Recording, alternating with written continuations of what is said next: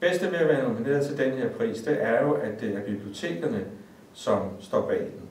Fordi bibliotekerne, det er jo de, de, de huse, hvor vi går hen og henter bøgerne og læser. Så det er noget helt, helt særligt, at det lige er, er bibliotekerne, der står bag den her pris, så det er jeg meget glad for.